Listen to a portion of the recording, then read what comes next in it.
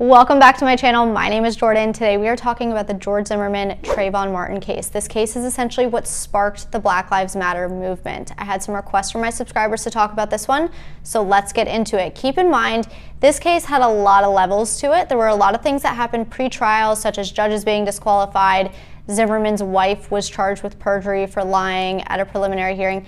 A lot of things that happened, but for the sake of the length of this video, we're going to talk about the facts of the case, the trial, and why he was ultimately found not guilty of his charges. Let's start with the facts. So a lot of people think George Zimmerman was a cop. They know him as the cop that killed Trayvon Martin. He actually wasn't a cop at all. He was a neighborhood watchman, 28 years old. He was also a part-time criminal justice student at Seminole State College in Sanford, Florida. Trayvon Martin was a high school student in Miami Gardens, Florida, but was visiting his dad in Sanford, Florida at the time that this event took place. He happened to be suspended from school for 10 days due to drug residue being found in his backpack. During his suspension, he decided to go up and visit his dad. On this particular night, he went to a convenience store, he got some Skittles and iced tea, he was walking back to his dad's house, and he was walking through this gated community where George Zimmerman was a neighborhood watchman. When George Zimmerman saw Trayvon walking through the neighborhood, he thought he looked suspicious. Now keep in mind, at this time, there were some break-ins happening in the area and the suspect was said to be a young African-American male. So when he saw Trayvon walking down the street, he called 911, he reported him as a suspicious person. Now this is where the problems start to arise because the 911 operator told him to not exit his vehicle, not approach the individual, and instead Zimmerman did approach the, uh, did approach Trayvon, got out of the car, walked up to him, was actually following him for a minute. And Trayvon was speaking to his girlfriend on the phone at that time and was telling her, you know, this guy's following me. It's really weird. I'm going to say something to him. And she was telling him, yeah, what that that's weird. Why is he following you? So he ultimately said something. An altercation ensued one was on top of the other at one point. It's not confirmed who was on top of who. It's said that Trayvon was on top of George Zimmerman, and that is when George Zimmerman shot Trayvon in the chest, ultimately killing him. George Zimmerman said that this was done in self-defense because Trayvon was slamming his head against the concrete sidewalk. Like I said, it has not been confirmed one way or the other who was on top or who was on the bottom. Unfortunately, there were no real eyewitnesses to this. There were only ear witnesses, which are witnesses that heard things transpiring, heard someone crying for help, but they couldn't really depict who was crying for help um, and then you know heard the gunshot. There were several 911 callers, but ultimately no one really saw who was on top of who.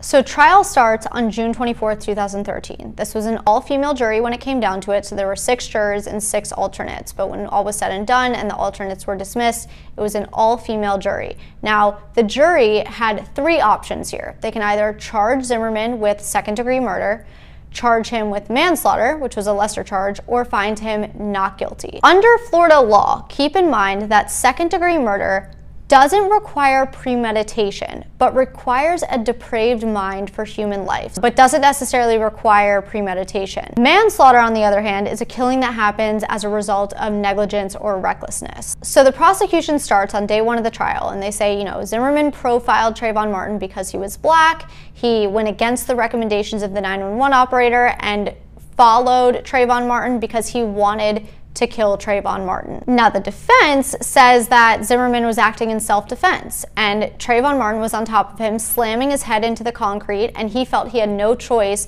but to shoot Trayvon Martin to get him off of him. And the defense actually opened with a knock-knock joke, which is weird, but the defense's rationale for telling a knock-knock joke in its opening statement was to lighten the mood a bit because the prosecution's opening statements had been very emotional and passionate. The defense also argued that Trayvon Martin did have a deadly weapon because he didn't have a gun on him or anything. So the prosecution's whole whole thing was that Trayvon Martin wasn't armed, Zimmerman wasn't in fear for his life, but the defense said, well, actually, he did have a deadly weapon. He had the concrete and he had his hands, and that's all he needed to beat Zimmerman's head into the concrete and kill him. A few bits of testimony that might be important to know are one, that Trayvon Martin's girlfriend, who was on the phone with him, testified that right before the shooting took place and the line got disconnected, she heard him say, Why are you following me for? Get off, get off. Now, if Trayvon was saying, Get off, get off, then that could mean that Zimmerman was actually the one on top of Trayvon, right? Two other witnesses say that they heard a boy who they believe was Trayvon crying out for help during the struggle. One of the neighbors testified that he saw Trayvon straddling Zimmerman, throwing down punches, but it was dark out, so no one really saw anything. They just are saying what they think they saw. Zimmerman himself didn't testify. The state spent much of its case convincing jurors that Zimmerman's injuries were minor. He had some cuts on the back of his head. They said his injuries didn't match his account of the shooting or the or support the fact that he was in fear for his life, which would justify self-defense. The defense countered with a forensic pathologist who said that the beating that Zimmerman described could have killed him if it wasn't stopped.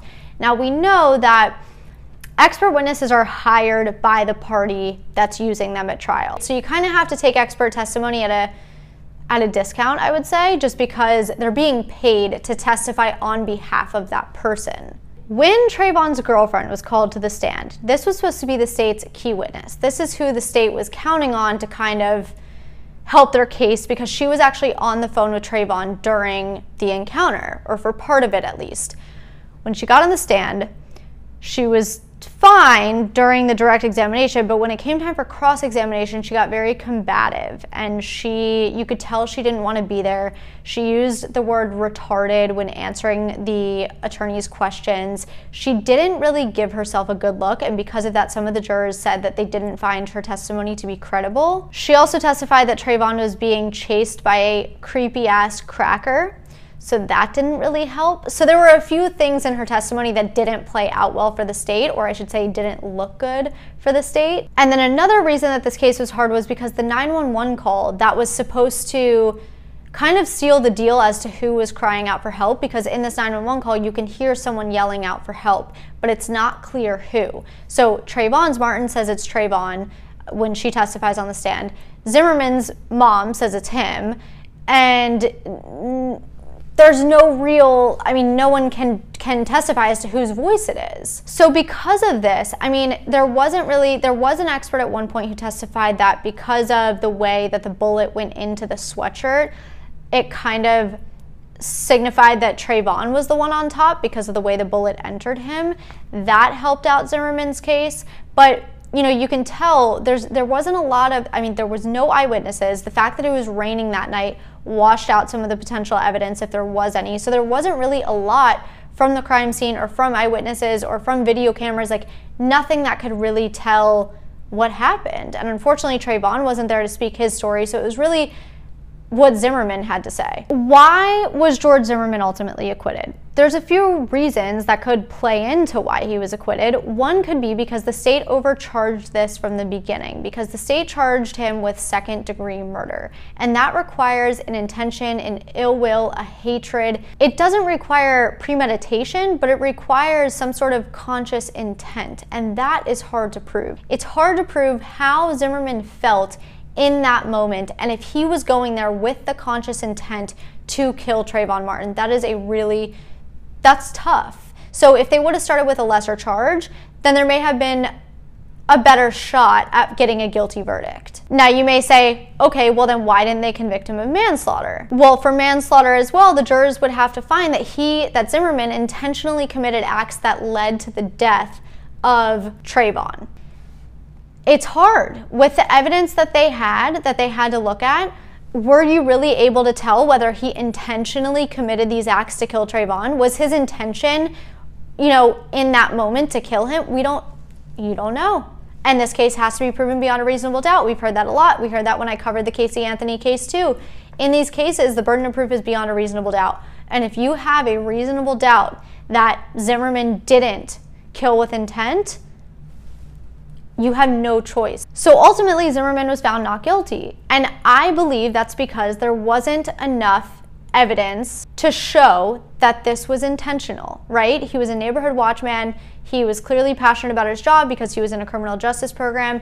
He thought Trayvon Martin looked suspicious, and whether or not that was racial profiling, we don't know. But even if it was, that there's no one to say that this was done with intent, that he was out to kill Trayvon Martin that night. And I really think that that is why we saw a not guilty verdict. If the state would have charged him with a lesser crime, then maybe we've got, we would have gotten a guilty verdict. So what's interesting is that three of the jurors got together and they did a redo. And five years later, they said they all would have voted not guilty, despite reiterating how much they didn't like him and how much, you know, they questioned some things that he did after the fact. But they, they said, you have to answer. Did this person in that moment feel their life was in jeopardy? And if he did feel his life was in jeopardy, you can't charge him with what he was being charged with. I hope that gives you guys some clarity because I know a lot of people were shocked when he was found not guilty. There are some things that have transpired since the trial that are very questionable. He actually filed a lawsuit against Trayvon Martin's family. It was eventually dismissed, thank God, because that was totally inappropriate and terrible of him on so many levels, in my opinion. And on top of that, he auctioned off his gun that he used during the shooting